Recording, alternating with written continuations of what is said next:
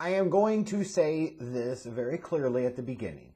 If you are the type of person that places a tremendous amount of your passion in the in ring components of professional wrestling, if you're somebody that really geeks out for the matches and the moves within said matches, then you probably really, really enjoyed this week's episode of Dynamite. Because it certainly had plenty of the stuff that you would absolutely love. No doubt about it. Punk working a long match against Bobby Fish. The women's match with Shida and Deeb. Like, I could go on and on. It had plenty of that. The TNT Championship. Like, yeah. Even the main event to some degree because of the big reveal. Like, some of those same things that some of you value probably a lot, I don't value quite as much, and that's okay. I found things enjoyable on this show too, it just might be different. Sometimes we can enjoy things in different ways, but still enjoy them. But it was a decent effort. Wasn't really rewarded in the ratings, and I can't wait to hear all the excuses about why the ratings were a little soft this week. Uh, but they were soft. So maybe, just maybe, I'd like to throw this out there as a proposal that uh, maybe Tony Khan could sit down, shut the fuck up a little, and focus on putting out the best shows that he could do every week. Stop shit talking on Twitter. Stop, stop focusing on anything to do with WWE. That's dumb. Put all of your energy, efforts, and resources into how you make AEW the best possible product you could be. You know, like, hey, instead of being a punk ass bitch, trying to pretend like you're competing against WWE when you don't have the balls to do so, like, actually show that you want to compete, but do it in your own way. Like, hey, have Rampage actually be a live show instead of doing the cowardly tape shit. Just throwing that out there. Anyways, let's talk about this week's Dynamite. The opener was CM Punk and Bobby Fish. Again, this is where we're going to probably divest in our opinions. A lot of you are going to love this because it was Punk and Bobby Fish going almost 20 minutes, which is exactly why I fucking hated this match. Bobby Fish should not be getting almost 20 minutes of TV time here. This is stupid. You could have done a lot of the same crap in eight or nine minutes and got the fuck out. It went way too goddamn long. There still is really no point or purpose in CM Punk and you could be trying to stretch and grasp and reach for shit, but no. You don't invest the amount of money they clearly had to invest in CM Punk for him to fucking randomly wrestle a Bobby Fish. Like, that's stupid. Let's focus on competition. Like, come up with something better for one of your biggest gate attractions. It's not that hard. It really isn't. And he shouldn't have to struggle with a nobody like Bobby Fish. And compared to CM Punk, Bobby Fish is a nobody. A lot of you liked it. I thought it was stupid. I got infinitely more value out of the next segment, which was MJF quickly squashing a jobber. How novel is that? Don't even let the other person get in the offense. Fuck that, you get a spot. Fuck this, anything. Fuck this, I'll make you look good too. No. Get in, get out, and get the fuck on with it. And you'll notice, you'll notice, when MJF was running his mouth, Sting ain't selling your attack, brother. He's pissed off that you took away his opportunity at CM Punk at Bound for Glory, dude. He's gonna get you. The whole thing with Sting and then Darby Allin. I'm sorry, like, I was much more excited for this than I was CM Punk versus Bobby Fish. Because now you actually are talking about something that has a story. Two characters that the fans actually give a shit. One half of the marble white pillars of AEW, if you will. But yeah, this was this was a really good segment. Got more heat on MJF. Had the big Sting return, the Darby Allin return. Like this was well executed. And the match for the TNT Championship between Sammy Guevara and Ethan Page was cool. It was relatively well executed. You know, it was solid. Sammy Guevara retains and leads to the beatdown with Scorpio Sky coming in, and out comes the rest of Inner Circle. And if we're going to have Chris Jericho run in and do the save, like, let's actually have him run in and do the save. If you got to sit there and do pyro and his entrance music for a fucking run in, then just have the pyro and the entrance music do the damn run in. And that was so ridiculous. Wrestling's gonna wrestling. I'm I'm just saying. Um, but yeah, you're building up towards now a five on five tag match, the inner circle versus America Top Team. Okay, cool. Give me more Dan Lambert mic time. Thank you very much. Hikaru Shida versus Serena Deeb. This was a TBS tournament match, so at least this match had some purposes. The only real knock I have about this match is two things. One, and probably by far the best match I've seen Shida have, and just another example of how great of a talent I think Serena Deeb is. But the two things that bother me about this number one is it did descend into the place that I would have expected it to descend. It's like you keep having to go and keep having to go, and uh, can you top this? And oh, this false finish, oh, this near fall, geared towards the melters of the fucking world. And like sometimes you can get away with that, and sometimes that's okay. Like, it was a little much here. The second thing, and this just might be a personal preference or opinion, the whole thing about Shida being the first to get to 50 wins, like, why have to have her win here? The crowd popped and everything, but did you have to? Like, you set this up, and then no time later, you just basically dismissed it.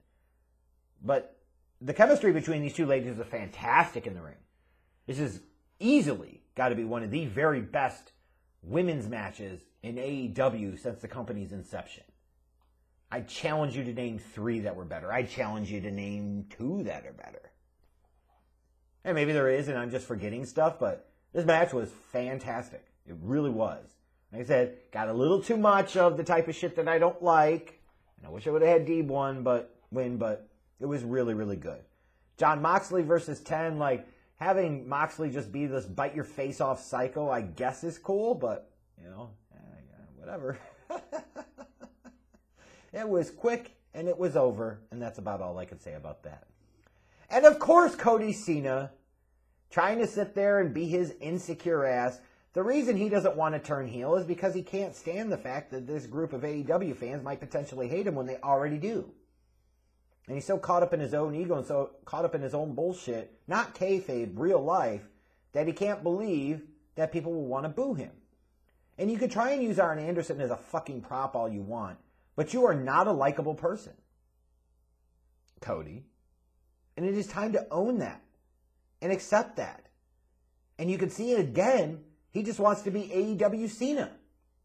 No matter what, they boo or cheer and get a reaction type of shit. Like, you're supposed to be better than this. Your company is supposed to be better than this.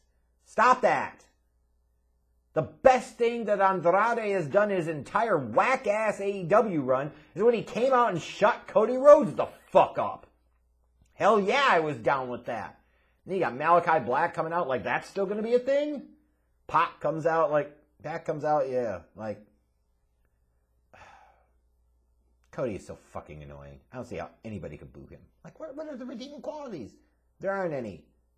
I'm gonna try to be my own man, but I always throw out there my wife, my brother, my daddy, and yeah, give me a fucking break. It's pandering on a pathetic scale. And some of you, I'm sure, are going to look at me and assume that I thought the main event with the Dark Order and the Elite in costume was pathetic and corny and stupid. And I'll say this sometimes wrestling is at its best when it's kind of pathetic, corny, and stupid. Is it not? Is it not? Not everything has to be a knockdown, 30 minute technical Dean Malenko classic, goddammit. Now, does the elite's type of humor connect or land with me in most cases? Absolutely not. But it's not for me, and that's okay. I guess. Uh, but the match wasn't much, and I'm sure the match itself isn't exactly something that the hardcore AEW fans particularly cared for. Like they're like, well, they put this out as the main event. No wonder your viewership was shit this week. But goddamn, I tell you what, the close to this, like I tweeted right before it happened, I'm like, the Stay Puft Marshmallow Man has to be Hangman Page. And when you got to that point and the camera was zoomed in perfectly, and you got whichever one of the Bucks of Sucks it was, and then you get the big reveal, it's like, oh wait, it's Brandon Cutler and the horse, so who the fuck is in the Stay Puft Marshmallow Man costume? And he lifts his head up and it's Hangman Page. That place lost its shit! Absolutely lost its shit. Because they care about Hangman Page. People are emotionally invested in the character. They care about what the hell he's doing. They want to see him win the AEW World title. All the 20, 30 minute spot heavy matches in the world can't stack up to what you saw in that main event. Like when you think about closes to shows that are going to excite you, when you think about main events that make you feel like, God damn, I wish I would have been there to experience that. That reveal by Hangman Page felt like some big league shit type of stuff. That's the tough you, stuff you'd have expected back in the day, maybe like an Austin to do. I'm going to dress up as a cameraman and then I'm going to do the slow reveal like, yeah, this shit worked and it connected. You could say, well, it was part of this stupid main event. But you know what? Who gives a shit? Because it made Hangman Page look like a million goddamn bucks here. And that's what the hell matters. Like you're setting him up to be the dude. Whether or not he'll truly be the dude remains to be seen, but you're setting him up that way. And you feature him in spots like this, yeah, the fans are going to be really chomping at the bit and really ready for it. You can sense now they are ready for it. And when you do things like this, it only helps in that. But it is an important lesson in if you can get the people that watch to care about the characters and to care about the stories, the matches are easy. The matches are secondary. Anything you do in the matches just adds to it. This is the type of stuff that we need to see more out of AEW. This is the type of character development, the storytelling that we need to see. That a lot of you claim is there on a consistent basis, and the reality is it just fucking isn't. There are certainly some feuds that are really notable, absolutely. But there is a lot of filler crap on their show you're going to do two hours live every Wednesday night, everything should matter and have a purpose, and not everything does. Like CM Punk versus Bobby Fish, you're throwing that out there, but that's weak ass programming, especially when you're anticipating the opener might be the strongest segment of your show. You need to do something better with CM Punk. That's pathetic and should be called out as such. And your wrestling Christ, Tony Khan, isn't quite the genius that a lot of you make him out to be. Sometimes. But then you got stuff like this and you say to yourself, man, that was incredibly well put together. You had to deal with some of the corny stupidity to get there, but when you got there, man, you could feel it, you could sense it, you could believe it, feel it. Mm. So, like I said, there were things that I enjoyed about Dynamite this week. It was a very easy, very quick watch. Do right by your most important characters, and the rest of the show kind of falls into place.